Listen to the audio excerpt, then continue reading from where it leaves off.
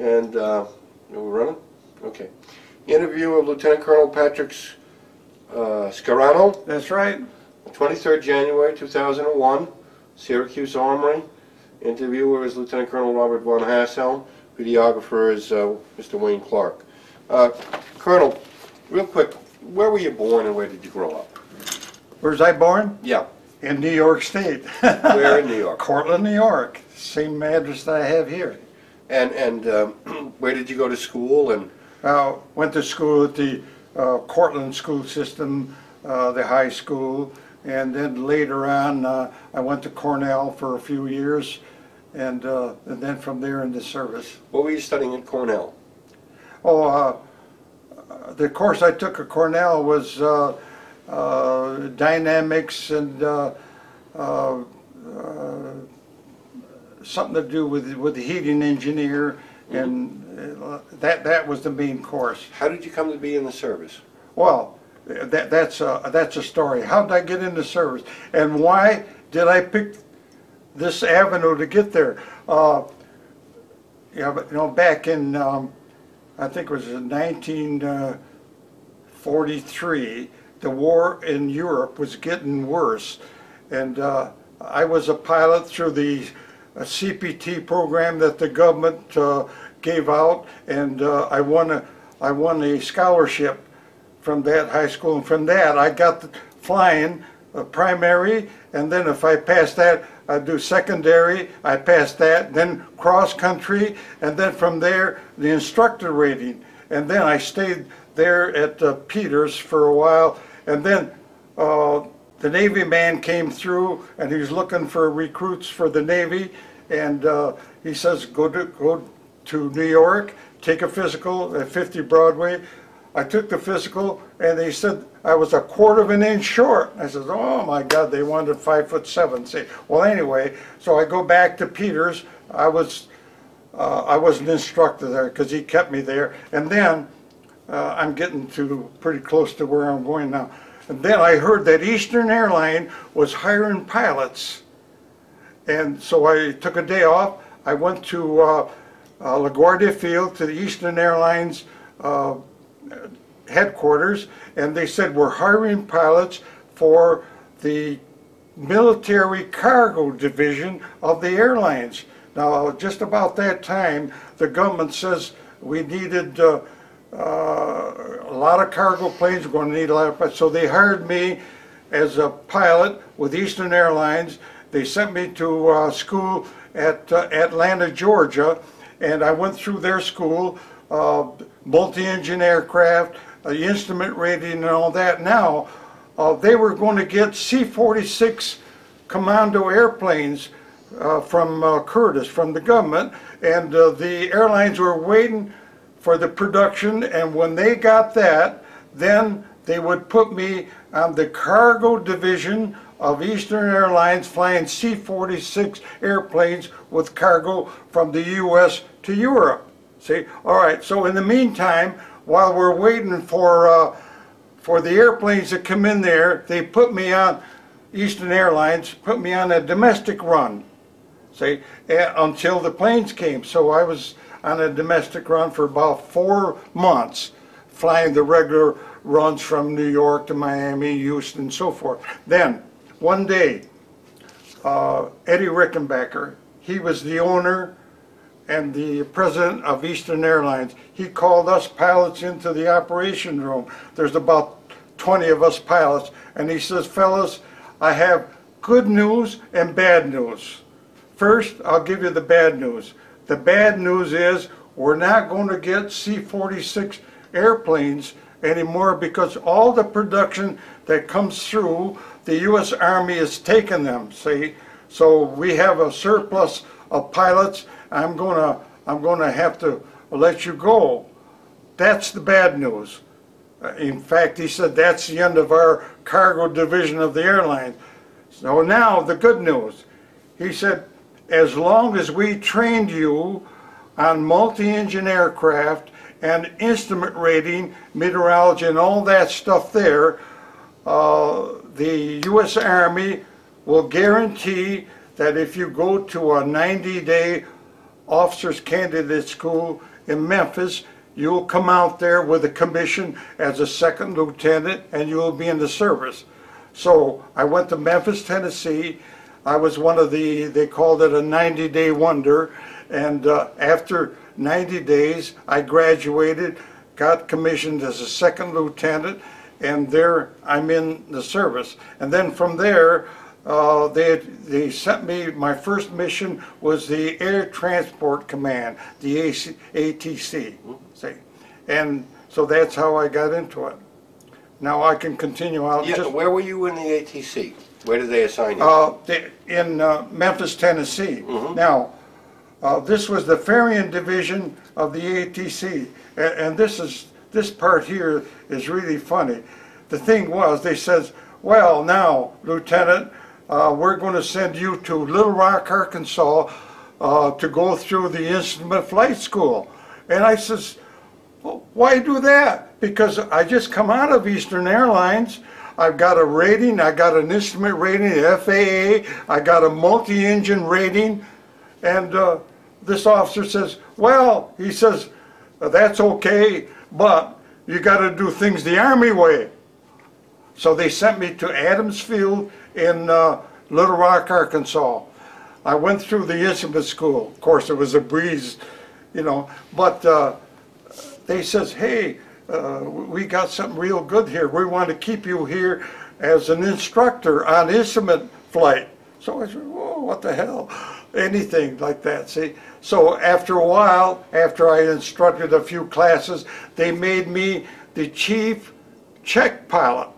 Now, any of the students that went through the school, they would take a ride with me, and it was up to me to either pass them, or if they were a little bit weak, to send them back for additional uh, training. See, all right.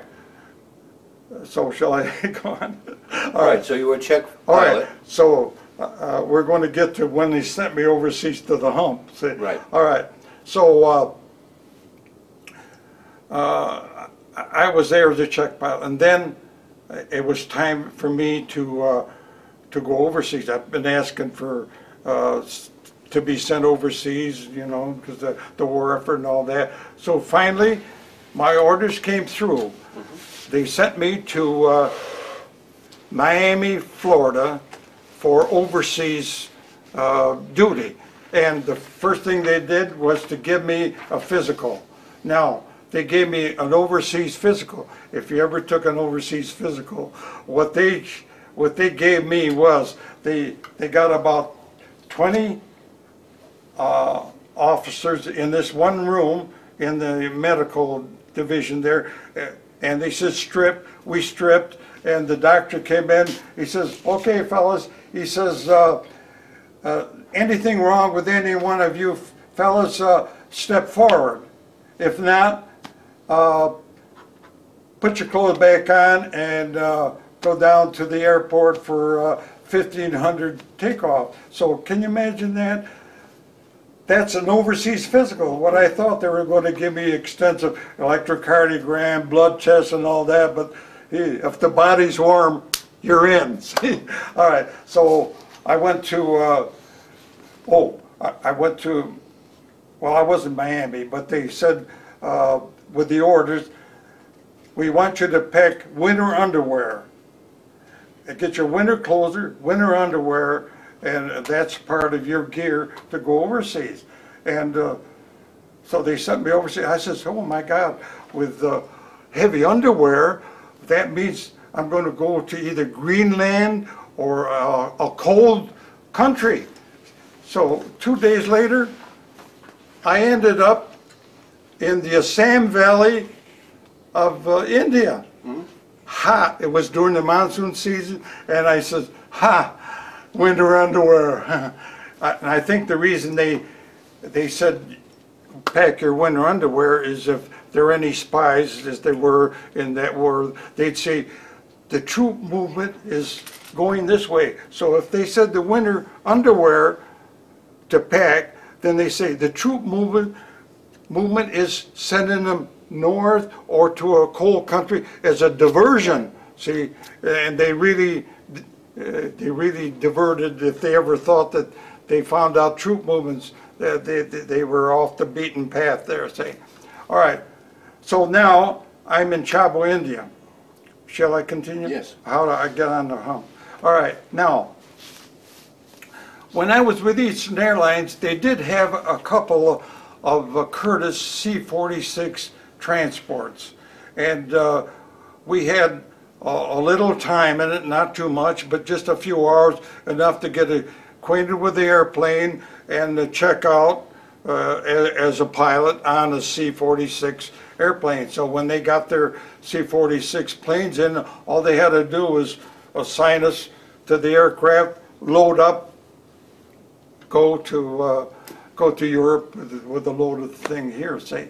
Now, ca- can I show you the, the map here uh, of the hump uh, and what I did? And uh, I'll, I'll talk as, as we go along, yeah. Uh, No, uh, the one that I, uh, This here, sir? yeah, yeah, this, this gives a, a better uh, pictorial, think of that.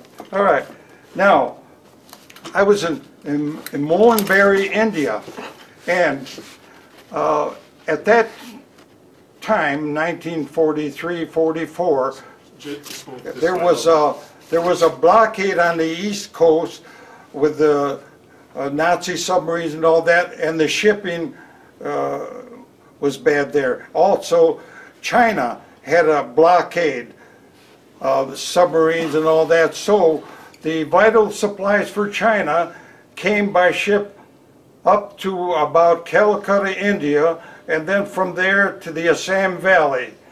All right, now they had vital supplies and they also had 100 octane gasoline.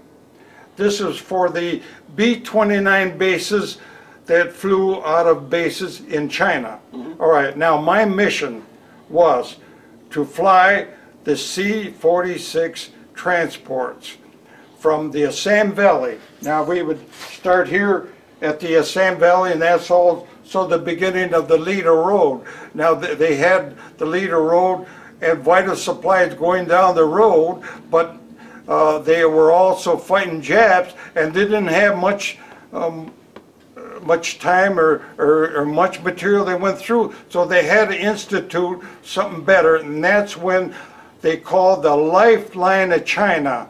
That's when we started that. Now, what we did there was we would start at the Assam Valley with a C 46 and with about 55 or 60 55 gallon drums of 100 octane gasoline. Okay, now this is in the C 46. All right, now we would take off, usually uh, in most cases a night flight. But anyway, we take off from the Assam Valley right here, and uh, the operation was to circle up to 15,000 feet so you could clear the Himalayas. The top of the mountains there were about uh, 15,000 feet. So we would spiral up and then head east for Kunming, China. Now, it would take approximately two hours. This was about a 400 mile trip, about two hours at 15,000 feet, mostly in the clouds. We'll get to uh, pretty close to Kunming, China, and then we turn on the beacon there, home in on the Kun beacon at Kunming, China, spiral down, and come down and land at Kunming, China. All right, then the trucks would be waiting there. They would pull up there. They would unload the airplane. In the meantime, we'd go and we'd have uh, something to eat. Uh, they would refuel the airplane, ready for our trip back home. See, now going over, it was hazardous with the uh, bad weather and all that. Going back was even worse. It was worse in this respect that we had the jet stream that flew from west to east, and sometimes that would be pretty strong, like it would be 50, 60 miles an hour, and in some case it went up to 100 miles an hour. So you're going now back home, you're going westbound into the face of the uh, jet stream. So it would take you longer. All right. Now, you go back to the Assam Valley, pick up a beacon, circle down, to sea level or till you broke out of the overcast and land at the airport uh, where you took off from. But here's the hazard. The hazard was that you'd get there about early morning and there would be fog. And what you would do would be to circle waiting for the fog to lift or go to an alter, alternate airport. Okay, well now, uh, if the fog didn't lift and the air, alternate airport was too far away, you would run out of gas. Jump out of the airplane, lose the airplane, and whatever. See, so you lost a lot of ships that way. The other thing that you would lose a lot of airplanes was in this respect. On the C-46 airplane, it was a very good airplane. Are you familiar with the C-46? Okay, now, we had 55 gallons of 100 octane gasoline. Okay, at sea level, uh, the operation was that one of the crew members would go into the airplane and look and see if there's any leakers. If you had a bad spot, if it was a leaker, we wouldn't take it. Open the door, take it out. Say, all right, so uh, the crew man, member come up and say, Captain, uh, everything's okay. All right, so then we take off. Get up to 15,000 feet. Now at 15,000 feet, there's lower atmospheric pressure, so any flaw in that drum, you would leak gasoline. And gasoline fumes flow downward. So on the C-46, as you know, the gasoline fumes will flow down into the belly.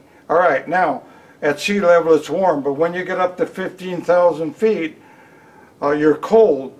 So on the instrument panel of the C-46, there was a red button, says for heat, press the button. Okay, now, if you had a lot of fumes and it flowed down into the belly, and then you got cold and you pressed that button, uh, it was a putt-putt. The putt-putt and uh, any spark there would ignite the fumes. And that was the end of that airplane. So that's, that's another hazard. See, Let's hold on here for a minute. you got that? Yep, got that. Wayne? Okay, this is a continuation of the interview with uh, Mr. Scarano, and uh, the interviewer is Wayne Clark. Go ahead, sir. Okay, well, I just got through mentioning uh, the hazard of uh, flying the C-46 over the hump and uh, the dangerous weather and the updrafts and the jet stream over the Himalaya mountains. Now, uh, the War Department considered uh, the Himalaya mountains and flying uh, the lifeline of China as a combat zone. And as a combat zone, they had a criteria of uh, 750 hours of total time in that area and you have rotation to go home. Now, they, they also mentioned that uh, being in a combat zone, you were awarded certain medals for the amount of time that you've uh, flown over the mountains. So the first uh, medal that I received and earned was the uh, Air Medal, this medal right here. And this medal was given for 150 hours of pilot time over the Himalaya mountains. And the next one would be when you have accumulated 300 hours, uh, then you would be awarded the Distinguished Flying Cross, which was a very good medal. Now, when you kept on uh, accumulating hours, you would have uh, another medal. In other words, after uh, 300 hours, uh, I would earn a, um, a cluster to the air medal. And then after another 300 hours accumulated over the hump, then there would be another Distinguished Flying Cross. Now instead of giving you the medal themselves, they would give you a cluster for the medal that they already gave you. So I, what I have is, is the air medal with cluster. I have the Distinguished Flying Cross with, with cluster. And then, as long as I have this out and I'm talking about medals here, uh, I have the World War II Victory Medal and this medal here was the New York State Conspicuous Service Cross. Now, you got that if you got any one of these other medals, like the Air Medal and Distinguished Flying Cross, and you had a good service uh, with the service, the Air Service, then um, New York State would award this conspicuous, uh, dis- distinguished conspicuous medal, and that's this one here. So that's about it as far as medals are concerned. And uh, what you see here is uh, uh, my overseas medals.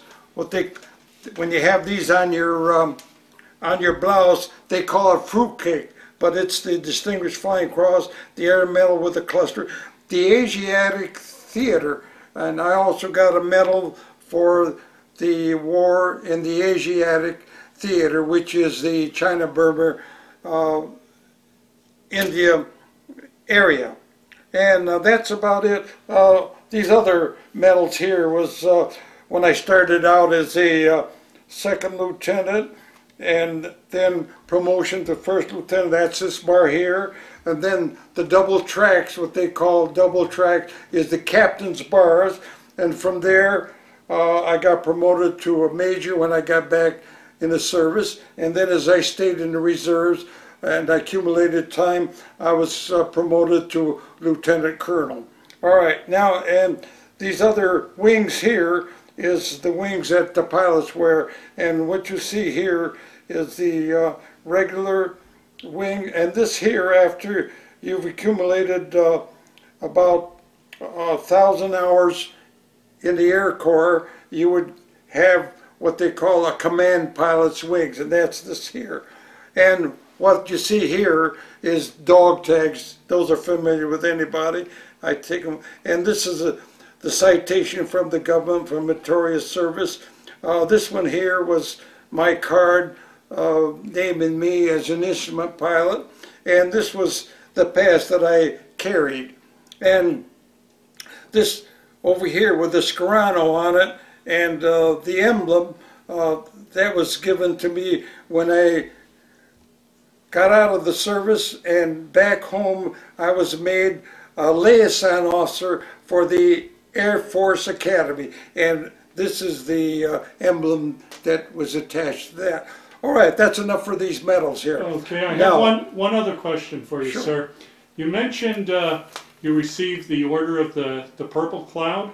Uh, no, uh, uh, that, that's for China, and I'm coming to that right now. Okay, Yeah. All right. Now enough of this here of uh, flying the hump. Now, uh, the war in China back in the early 1945 was getting much worse, and what the government had to do was to uh, get troops for the northern part of China and bring them down to the southern part of China to fight.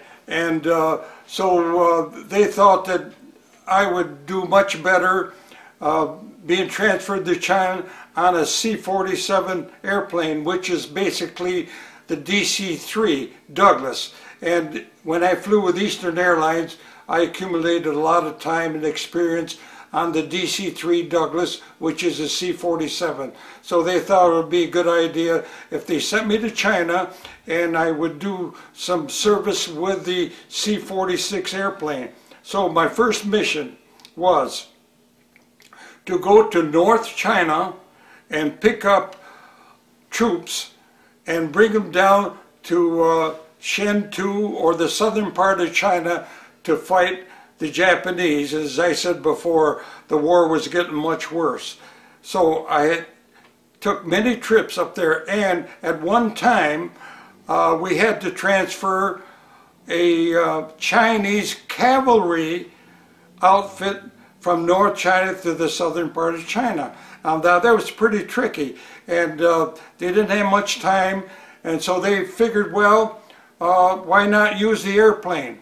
So they took my favorite C-47, and they would make some stalls, and in those stalls they would put four horses, and they would have a veterinarian uh, go along on the trip.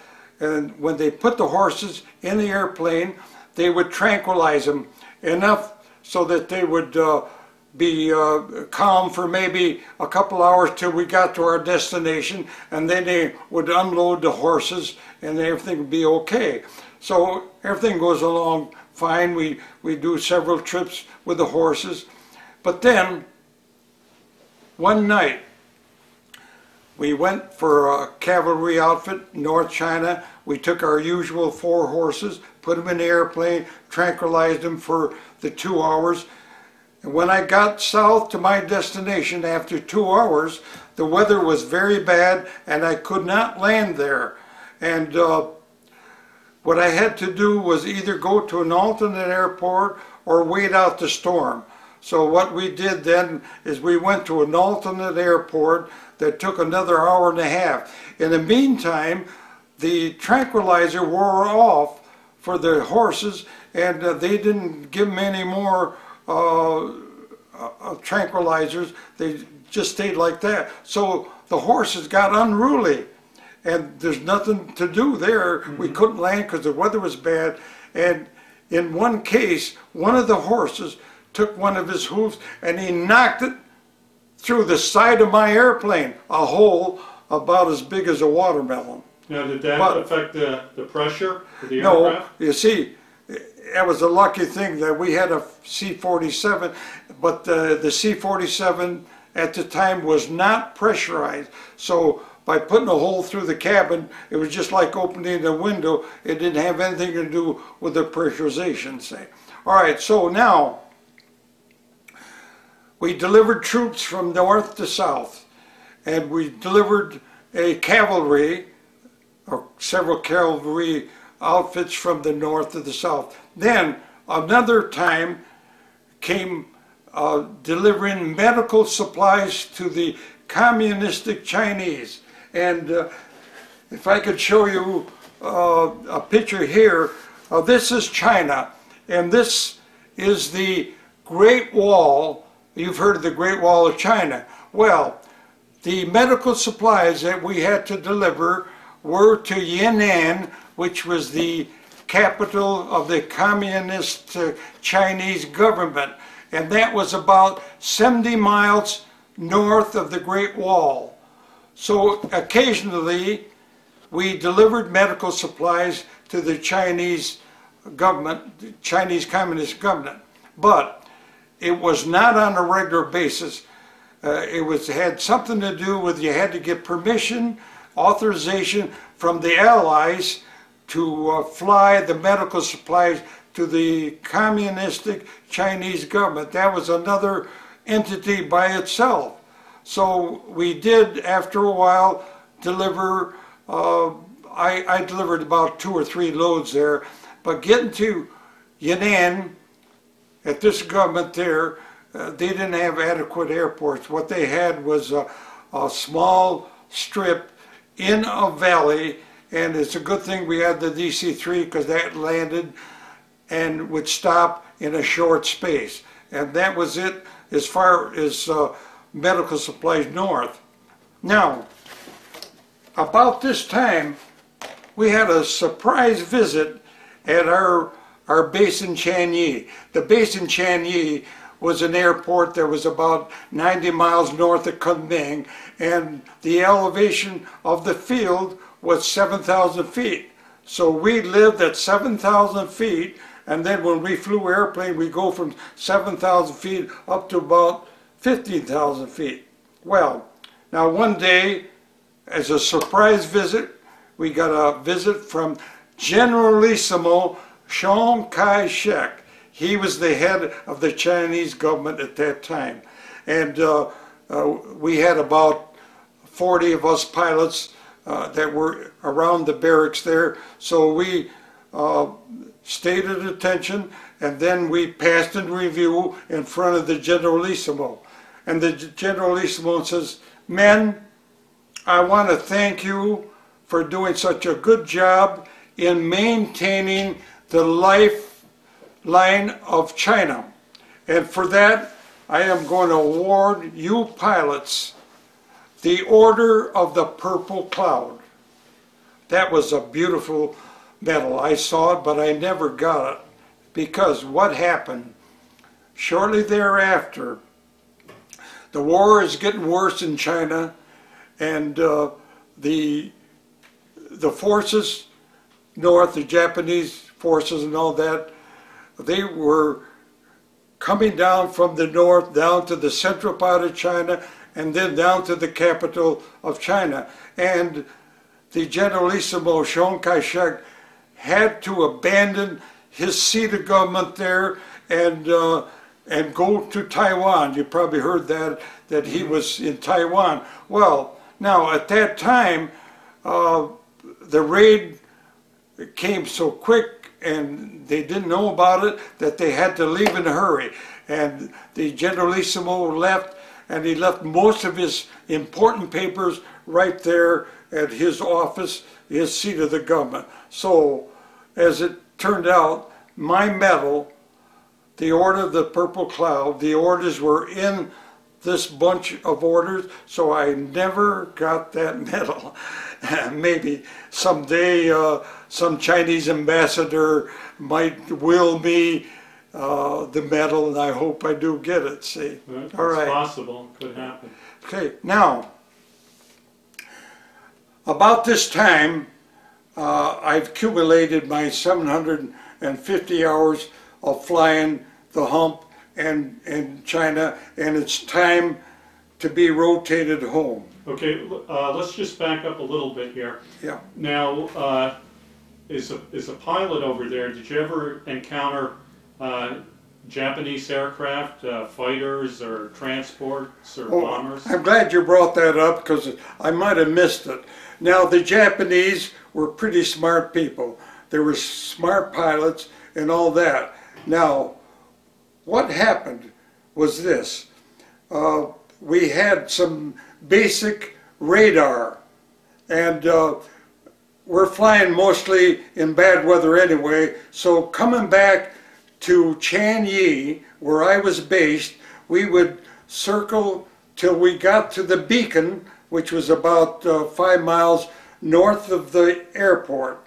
And after we hit the beacon and we knew we were there at a certain altitude, then we would fly due south for about three minutes, letting down till we broke out of the overcast and landed on the runway at Chanyi.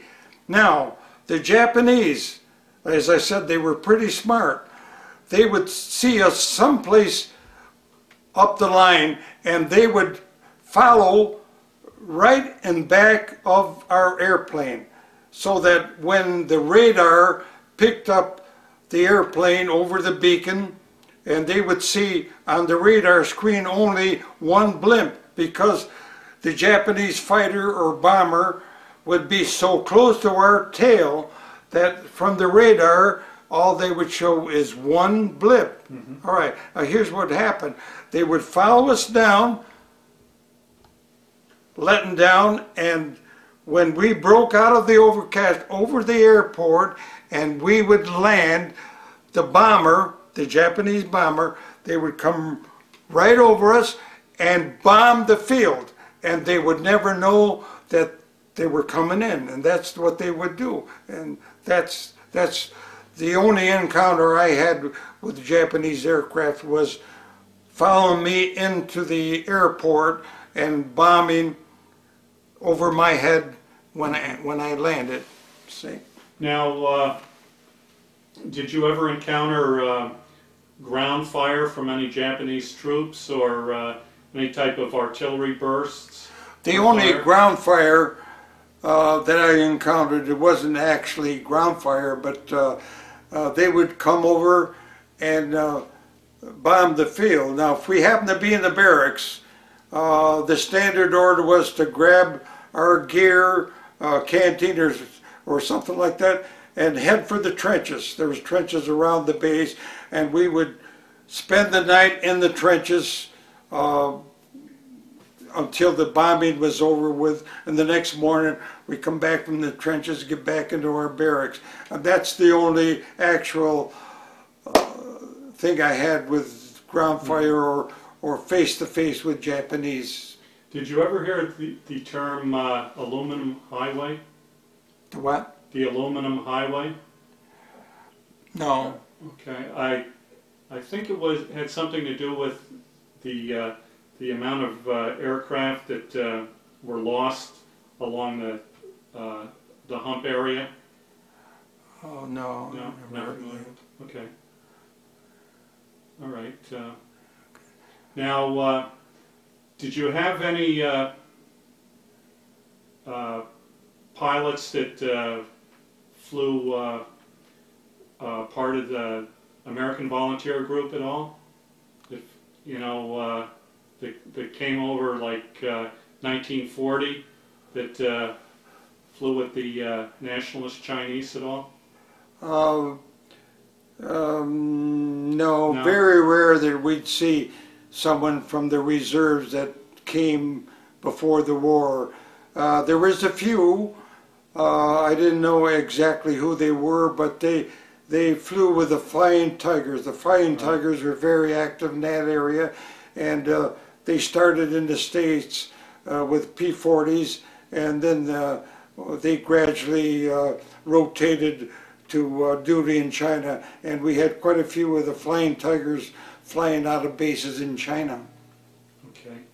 Now, uh, your fellow pilots, you had a lot of experience when you went into the service flying for Eastern Airlines. The, the, your fellow pilots, uh, did you find that they had as much experience as you, or were they lacking? Well, uh, we didn't talk too much about there. There was one one pilot that was with Eastern before I went to Eastern. He was there, uh, and most most of the pilots that I I flew with were uh, regular cadets that uh, went to uh, flying school, and they came there. And very few uh, of the pilots were from uh, from another airline. There were a few from other airlines, but uh, basically they were the young fellows that were trained as uh, as cadets and and got to fly in there. And the reason the reason that I I got to be a first pilot uh, as soon as I got there was my experience that I had with the airlines. I didn't have to ride as a co-pilot for three or four months till I got used to the airplane and then got to be the captain of that airplane because I, I had already that experience. So when I went there, I immediately was put into the, the left seat as the captain of that airplane. Now, your your crew, there was normally what a pilot, a co-pilot. Uh, did you have a uh, like a load master or crew chief? Well, the crew, now that's good. With the C-46 or the C-47, we had a crew of three people. Uh, We had the captain, which is myself, we had the co-pilot, and we had the radio man. Now, the radio man was also the navigator. Uh, he would navigate, but he would have the uh, the communications with headquarters, and uh, he would transmit all these messages via radio, and they could tell him uh, sometimes about where we were, and uh, so that that was the that was the standard crew of the, the three men. And as I said before, I only flew the C-47 and the C- C-46, and that was the crew members. Later on, uh, when I got home and I flew a hospital ship, that was a different story. That had the pilot, myself, the captain, the co-pilot, then they had the flight nurse, and they had a medical attendant. There was a four-man crew. Okay, I'm going to stop China, it right was- here to change film. Yeah. Now, uh, did you carry any kind of armament on your aircraft? No, there's no armament at all, not a bit. All we had is our trusty 45 caliber pistols that we carried all the time, but nothing for any guns or anything, any bomb. Nothing. No, we were just just Now- plain airplane. Now, did you carry any kind of survival gear uh, or parachutes or anything? Oh like yes, yes, that's that's definite. We always had uh, on board on every flight. We had our parachute. Now the parachute in the back of the parachute the equipment they had in there was some survival gear.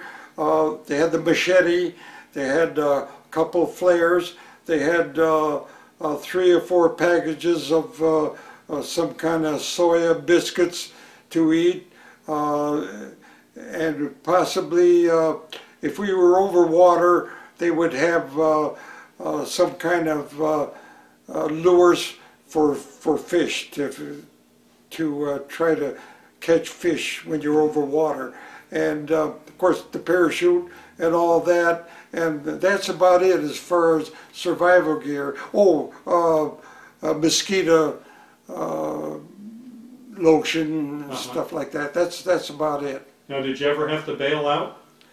Uh, not exactly, but there was a couple of cases there where uh, we run into ice, and the uh, the field was socked in, and we were in ice. And we, at one time, I had a C-47 in the uh, uh, China area, and I accumulated approximately two to three inches of ice on the wings. And I told the crew, I says, you better get your parachute on. And uh, I'm going down as low as I can, and if I don't break out and we run out of gas, uh, the red lights are on now, we're going to have to bail out. Now, at that particular time, my radio man uh, called in and he says, Hey, I got great news. We're pretty close to Chengtu, and this is the first time that the government put in an instrument landing system. And here is the number, and if you'll fly a course of 270 degrees for about 10 minutes, you'll run into the beacon on the end of the runway, and they will turn on the instrument landing system for you. And so we did that, and we got to the beacon, we called in, they gave us the signals, they turned on the instrument landing system, and we landed. And this was probably the first time that an Army plane landed in China with the instrument landing system. And that was at Chengtu. And Chengtu was one of the main bases for the B 29s to bomb Japan. Now, what were the Chinese people like? Did you have much interaction with them? Oh yes, uh, they were they, they were good people. Uh, the reason I say they were good people, I, I did duty in China, or I mean I did duty in India, and uh, when we were in India and we had time off, we'd probably go into town, a little small town, and we'd watch the people, and they would just uh, mope around, listless, and all that. That was their way of life. And then, when I did duty in China, and I landed and I'd go into town like Kunming or something like that, you'd see the Chinese people, they were just walking fast, they all seemed like they were busy and they were they were good, hard working, studious people. And uh, they would respect us and uh, when you'd see them they'd say, Ding Hao means everything's okay, you know. and uh, uh, every time you go to a foreign country, there's there's always some bad words that you pick up. There are some bad words in um, in China, and uh, if they didn't like you and they wanted to really give you hell, they would put their two fingers like that and point them to your eyes, and they would say "Uzni maniki maniki tash." that means that uh, you eat uh, dead mice. but on the whole, I respected the Chinese people. They were good workers. Now, did you uh, spend any time in Burma at all? Where? In Burma? Oh, in Burma. Uh, not in town, but I, uh, at several times, we, uh, we had to land at Myitkyina, Burma. That's the airport in Burma, and take on gas. Uh, I hate to say this, but there was a, there was a colonel that was trying to make general. He did make it, of course. Uh, his name was Colonel Tunner. And what he did, instead of having our tanks full of gasoline, which would be eight hours of flight, he would tell them to give us three hours of gasoline in the airplane. And the other gasoline that was left over that did not go into the tanks, he would put them in the oil drums. So now, at the end of the month, he would write down tonnage over the hump. And if he put uh, five or six extra drums of gasoline in my airplane from Assam to China, he could write that off as tonnage over the hump. So what he did then would have three hours of gasoline. We would take off from India, land at Myitkyina, Burma, and then uh, get probably uh, take the the uh, the drums off and put some more drums in there for tonnage, and then he would put maybe two hours of gasoline, two hours of flight worth of gasoline in my tanks. So, in other words, there would be about 800 gallons of gasoline in the airplane, and they would only fill me with 200 uh, gallons. And at one time, uh, they come over, and I said to the gasoline man, fill up the tanks. He says, we can't fill up the tanks. We can only give you about one quarter of your usual capacity. And I got mad then. The weather was bad. And I said, I will not fly this airplane unless you fill up the tanks. And he says, I can't do that. And I said, go talk to your operation officer. Tell them that I'm going to leave my airplane here, stick with the airplane, and I'm not going to take off till you fill my tanks. Well, he came back after a half hour and he says, well, I, we'll have to do it. We'll have to fill up your tanks. So they filled up my tanks and I took off, finished my routine flight to China, and there it was. And uh, two months later, I saw by the uh, the paper that the service has that Colonel Tunner was promoted to Brigadier General for the excellent job that you did flying uh, the supplies over the hump. So there you are. Now, uh, you were rotated back to the States before the war ended? Yes, uh, I've accumulated 750 hours over the hump and China flying, and the ru- routine was that you would be rotated home at 750 hours. Now, uh, this was in China. I came home from a flight one day, and uh, uh, the Colonel Keegan, who was our commanding officer, called me into his office. He says, Lieutenant Scarano, uh, I want to thank you for the good job that you've been doing here, but it's time to send you home. He says, on my desk, I have two orders. I have one order uh, promoting you to captain. The other order is rotating you home. I said, they're both on my desk. Now, he said, if I send them both in, they're not going to act on both of them. What they'll probably do is send you home as your present rank first lieutenant. So I would suggest if you if I put in for your promotion first and then you wait about two or three weeks, then I'll send in the orders for rotating you home. And that way you'll go home as a captain. I says, oh, that's very good. But he says, it's, it's up to you. And I says, well, I'm anxious to go home, but if I go home as a first lieutenant, uh, there won't be much for me to do. But if I go home as a captain, I'll be able to swing a good position as a pilot on a bigger airplane. So uh, I'll take my chance. I'll send in my promotion first, and then I'll wait for orders to go home. So that's exactly what had happened. He sent in for my promotion that came in, and then two weeks later, he sent in for my rotation home, and that came in. So I went home as a captain.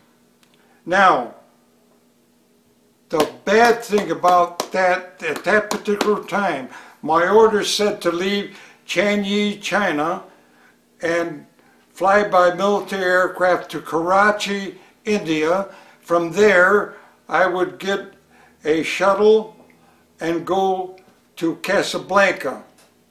All right, now when I got to Karachi, the minute I, I got into the airport and uh, showed my orders, uh, we heard that uh, VE Day, the Japanese or the uh, the people in Europe capitu- Capitulated. capitulated. See, and uh, so that was VE Day. Now, the problem was this: they froze all orders to go home right then and there, and they said for me to wait until further orders, and I didn't know what. And the rumor, there was a rumor that uh, we were going to concentrate more on ending the war with Japan, and that the instead of going home, they were going to divert us to another part of China. Well, I was downfalled. I was uh, anxious to go home. Now, while I'm sitting there, a friend of mine that I knew back in the States at OCS came by and he says, Pat, what are you doing here? And, and I told him what I was doing. I was uh, being rotated home, but my orders were frozen. And uh, what could I do? And he says, well, you know, what I'm flying is a, a supply ship from Casablanca to Karachi. And uh, I'm going to unload that and get something to eat and refuel the airplane. And I'll be taking off in about uh, two hours back for Casablanca. But he says, I cannot take any passengers. I have a C-46 airplane that's parked in the north ramp, number 766, but I cannot take passengers. I said, oh, thank you, Jim. Good luck to you. So after he left, I took my B-4 bag and I snuck over to the north ramp. I got in the airplane, got in the tail where the toilet was, closed the door. Okay, then an hour later, I heard the engines start up and uh, then take off. And then about 10 minutes later, I got out of the can in the back, went to the cockpit, and it says, hey, hi, Jim. Pat, I knew you'd take my hint, see? All right, so now we landed the next day in Casablanca. That's the end of his trip and the end of my trip. So now I'm in Casablanca. I went up to the operation officer and I says, uh, when is your next flight home? And he says, how did you get here? And I says, well, I I come by military aircraft. He said, let's see your orders. The orders said to go home, but that I was frozen in Karachi. He says, you know what you're going to do? You're going to take the next airplane going back to Karachi. You stay right here. That's it. You did something wrong and you can't go home. All right. So I sat there, downhearted, of course, and an hour later, the same officer came to me and he says, I hate to tell you this, but I've got some important papers to go to the States and they're going to go by courier service, but I can't send them by anybody. I have to send them with a an officer, and you, as a captain, you are eligible to take it. And he says, would you like to take the courier to the States? I said, do I ever? Was I happy? So what they did then was they took this pouch and they strapped the handcuffs to my wrist with the uh, important papers. And then I, I got on the airplane and I landed in Bangor, Maine. And that was the end of overseas. See? What was it like uh, coming back to the States? Oh, I was so happy. Uh, I, I, I was the happiest man in the world. I come back to the States and uh, then I went home on leave and uh, saw my family. I saw my daughter that was born while I was in India, uh, a three months old little girl, Charlene. Oh, she was a beautiful thing and oh, I was so happy to be home. So I was home for 30 days and then I had to I had to go on my next mission. So Okay, uh, My next mission. All right, the next mission now. They sent me to Romulus uh, to be a captain on a hospital ship. now where was Romulus? This is Romulus uh, base in Michigan. Okay, Yeah. Now, uh, just before I, I was sent overseas while I was in Little Rock, I took several flights as a co-pilot on a hospital ship, so I was familiar with that. So what they did, they did send me to Romulus, and they gave me a co-pilot, they gave me a nurse, and a flight and a, a medical attendant. See, there was four people in our crew, and we had a C-47 airplane, and we would take off from Romulus with a pocket full of money because we were going to be gone for a month, and we would fly to Mitchell Field on Long Island or Fort Dix in New Jersey, and we would take patients that came from the European theater. They're usually maybe uh, about uh, six litter cases and four or five ambulatories. And we would fly them from the East Coast, Mitchell Field or Fort Dix, west, and we drop off these patients to a hospital nearest to their home. It could be uh, St. Louis, it could be Cleveland, Ohio, and we would pull up, land at the airport, drop off the patients, and then work our way west from St. Louis to Kansas City and Denver and right on that way. And then when we dropped off our last patient, then would we proceed to Hamilton Field in California.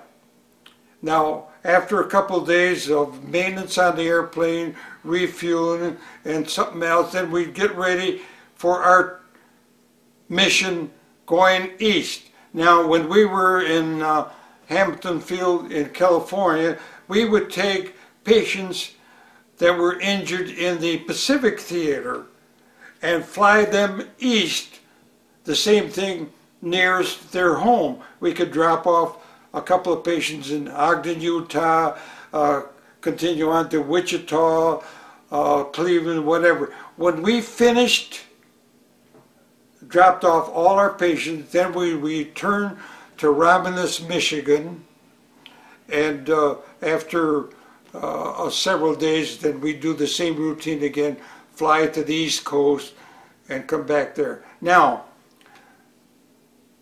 while I was flying the hospital ship, one night we were flying. Uh, uh, I think South Dakota, and I was homing in on a beacon there because uh, back in those days they didn't have the airway control, the airways.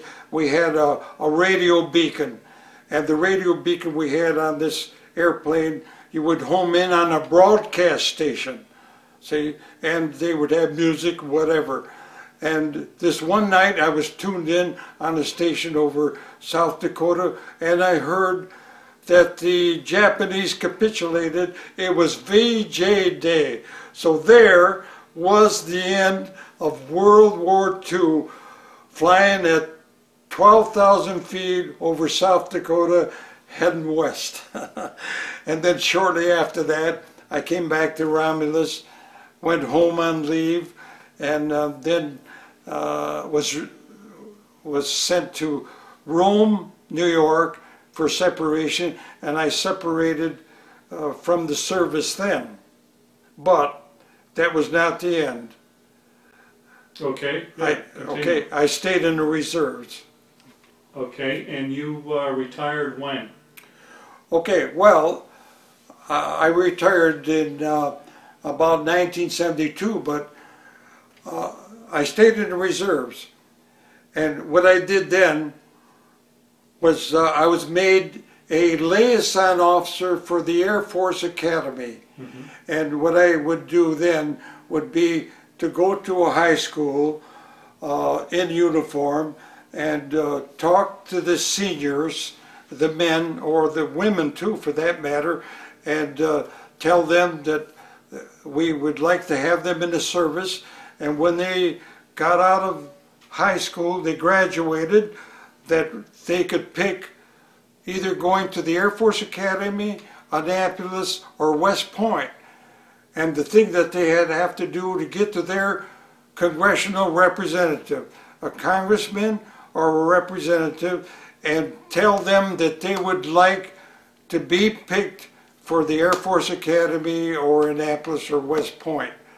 And so what they would do then, they would do that, and then the congressman would have two or three students that he would uh, send to these academies. So I was a liaison officer, and uh, I spent two weeks of active duty in the summertime at the Air Force Academy. I saw the students that I helped get through there. And uh, then I also, uh, see, I stayed in the reserve for 20 years. Okay, let me, let me Sure. just uh, back up a little bit. Were you in the reserves when uh, the Army Air Force became the United States Air Force? Yes, Yeah, what was that like? yes. Well, what that was like, uh, uh, we would meet uh, once a month at some armory or something around our hometown, uh, Cortland or Binghamton or whatever there. And uh, we'd, we'd put in our 50 hours of studying or act or duty somewhere, and that would be a satisfactory year toward my retention for retirement. Uh-huh. All right, now, while I was there, uh, it must have been about 1950, the orders came through making the Army Air Corps into the U.S. Armed Service. Yeah, I, I think that might have been 1947. 1947, the U.S. Air Force. And what they did, they gave each one of us uh, officers, I think, $200 to go out and buy a blue uniform. So I took my money and I went to Rome Air Force Base and I went to the commissary there, or the PX, and I picked out a nice blue uniform, hat, and all that. And so from then on, I was U.S. Air Force. That's, that, that was a memorable occasion. Now, did uh, did you do any service in Korea when the Korean War broke out? No, no, I, I didn't do I didn't do Korea. Uh, I was waiting, uh, but uh, it was a short war. I think only about a year, and uh, uh, so they, they never did call me. But I, I had everything ready, and if they says let's go, uh, I could get all my household things in order, and I would go just like that. See, so I, I never went to Korea. But uh, I take it you you enjoyed your experiences in the military and you, Oh, definitely. And another duty that I had that I loved very much was uh, uh, I was a uh, liaison officer with the Civil Air Patrol. And uh, at one time they sent me to Harris Hill as the commander of the encampment for the Civil Air Patrol cadets.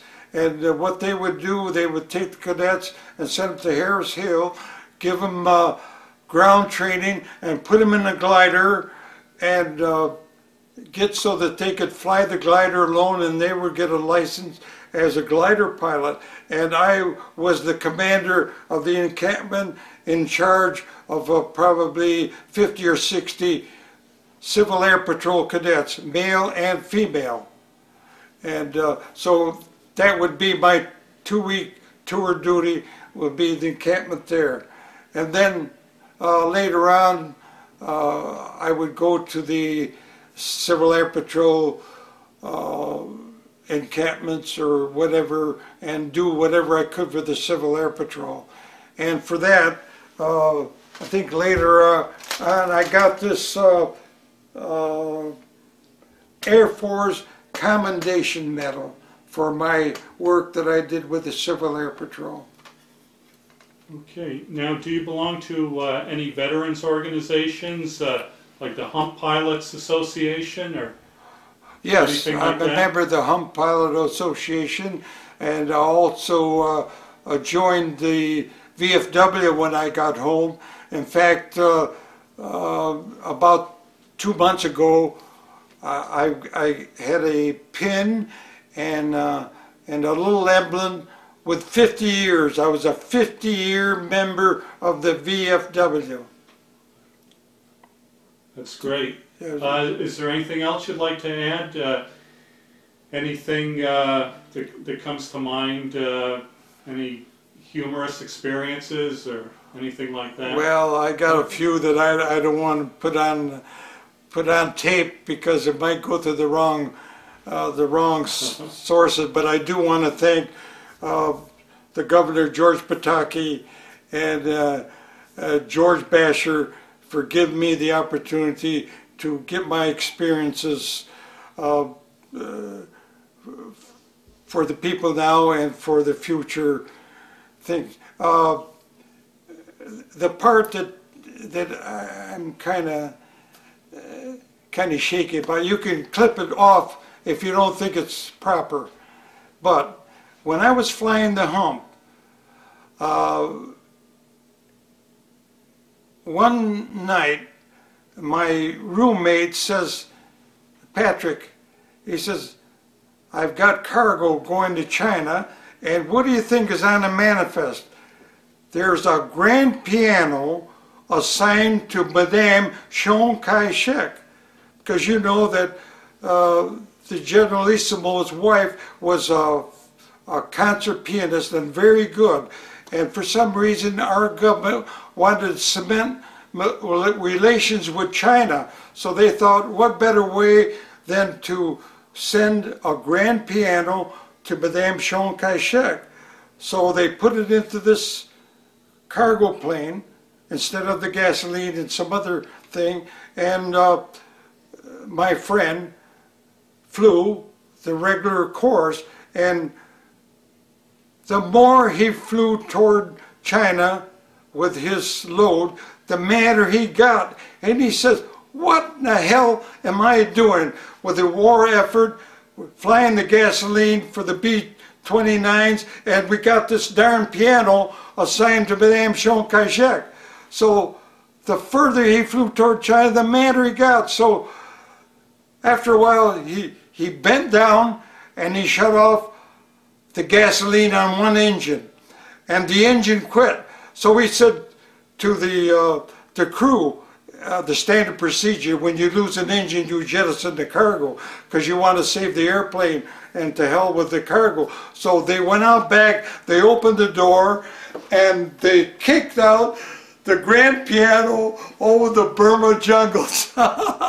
so when they got to Kunming, China, the truck pulls up to get the piano, and uh, they said, "Where's the piano?" And the captain says, "You know, I lost an engine over the hump there, over Burma, and uh, there was something wrong with the cross feed, and I had to jettison cargo. Then later on, I filled around with the cross feed and checked the tanks, and I found that there was a short on one of the valves there. So I opened another valve, and the gasoline came in. I started that engine, and so I continued the trip here with both engines. And so that was the humorous. Well, maybe it was humorous, but if Madame Chiang Kai-shek got mad and told the Generalissimo, those pilots from Chanyi, where you told them they were going to get the purple cloud, forget them, you know, and maybe, maybe that's why I didn't get my, uh, my order of the purple cloud. Now, did you uh, keep in touch with any of your flying buddies after the war? Uh, not not not too many. Uh, some of the some nearby I would, but uh, they were from all over the country. They were from California and all that. And I did have a couple of buddies in Michigan that I kept in touch with, but there was one officer in California that called me in the middle of the night, and he says, "Patrick Scarano." I said, "Yes." He says, "You flew the hump, didn't you?" I said, "Yes." He says, "Well, I, I had your name here, and uh, about uh, once a month, I go down the list and I pick out somebody there and I call them and I, I say, how you doing and all that, just for the hell of it. But I, I never went that far. Uh-huh. So, Uh, anything else you'd like to add about your experiences? Uh, no, it was a good experience, and the Lord was with me. And um, the main thing back then, and I don't know if you could do it now, if you are the commander of that aircraft, it's up to you as a commander to make sure you have a safe return of the airplane and the safety of your crew. In fact, uh, to go back to that C-46 flying at 15,000 feet, when, when I flew the hump there, I would tell my crew, when you fly with me, I want you to wear your sheepskin underwear, your underwear and your sheepskin flying suit because when you fly with me, I do not turn the heater on. I fly blue and cold, but I return. And the same thing with you. And so I did that. I did not use that heater. I come back blue and cold, but but I came back. See, well, as I said before, it's up to the captain of that aircraft to look after the crew or look after the airplane. The come come hell or high water. There's a good many times that uh, I was in China. Uh, sleeping in uh, an operation room at the airport and the one time uh, an officer come over to me and he says you're lieutenant Scarano yes. He says uh, i'm going to take your airplane. We need it. I says what? You're going to take my airplane? How am I, how are we going to get home and all that? And where are your orders? And i said look you see what i got over here? This is a 45 caliber pistol. You touch that airplane and you're going to get it. You see? Uh-huh. So you get somebody else's airplane. So he never touched my airplane. So like I said, take care of your airplane, bring it back home. When you're in uh, in Burma, they want want to get you short on gas. You say, no way, I want to save the airplane. Put the gasoline in there, or I don't fly the airplane. So, as a captain of that aircraft, remember to do your duty. Now, uh, as a civilian, you went back to flying for the airlines. I went back to the airline and uh, uh, I said I'd like to come back because you promised me when we got back from the service that we could come back here. And I says, uh, how long will you take before you can check me out as a captain? Because I've been in China and I've got probably uh, 2,000 more hours on a C-47 and that's what they're flying at that time. See, so uh, I'm a much better pilot than I when when I left here.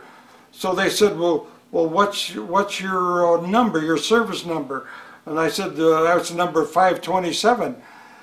You know, I was a co-pilot with the airline then, and uh, they says, oh my God, uh, you got a very low number here. It might be uh, two years before we can check you out as a captain. I says, hey, I'm not going to fly as a co-pilot for two years and waiting to be captain. Well, as it turned out, uh, within six months or so, uh, aviation expanded and I could have been a captain, see? But I went home, uh, I got into the furnace and appliance business because there was a, a big demand for appliances and all that. So I opened up my store and uh, I, uh, I did that for a couple of years and then I figured, hey, I'm a young man, I still got a lot of flying left in me, so I'm going back to flying. So then uh, I made a resume, I sent it to some of the, uh, the big manufacturers and uh, the stores and uh, uh, firms in the Syracuse area, and one man, J. Stanley Coyne, who ran the Coyne laundry system, called me in and he says, uh, Patrick, uh, I, I love your resume. If you come to fly with me, uh, uh, here's my airplane. Uh, you can fly with me tomorrow and see if you like it. You can fly with me three or four days a week, and the two days that you don't fly, you can go out in the field and uh, do some selling for me sell garments to to General Electric or whatever. And so that's that's what I did. I went back to flying. I flew for this man out of Hancock Field for about 12 years, and um, then after that I came back home. I did charter work, and uh, uh, so that that was that was about it. Okay. Yeah. All right. Uh, in closing, anything else you'd like to add? What else could I say except that I was born in New York State? I'm going to die in New York State. I think Pataki is a good man, and it's an em- empire state, and uh, I, I think I think I like it. Okay. Well, thank you, sir.